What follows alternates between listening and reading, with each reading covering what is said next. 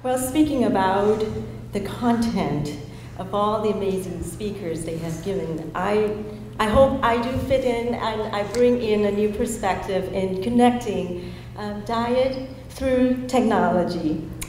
And uh, before I move on, I actually have a guest speaker that will join us through the video conference. Hello? Can you hear me? Yes, I can hear you. Your voice is loud and clear. Can you see me? Yeah, but I can only see your eyes. Oh, let me scoot back. Is it better? Yes? Hello, everyone. Hi, I can see you now. Hi, see you. Thank you for taking time to be with us. I know that you mentioned earlier that you have something exciting to share with us about dietary assessment. So whenever you're ready, feel free to start. Thank you. It's my pleasure to be here. Speaking about tracking food and analyzing diet quality, I am using technology.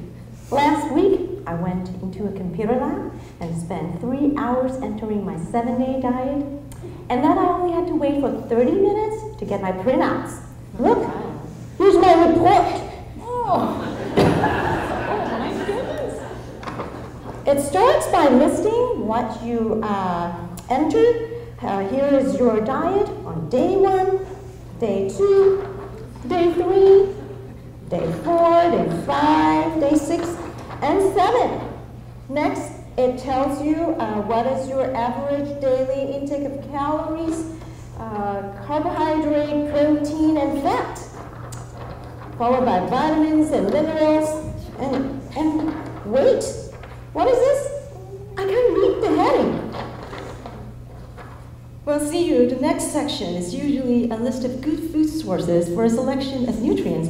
For example, iron, calcium, and vitamin D. Oh, you're right.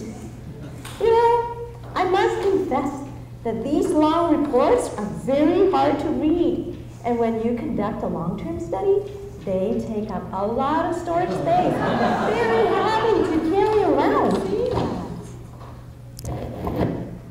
Oh, what is it? Siew, this is a smartphone.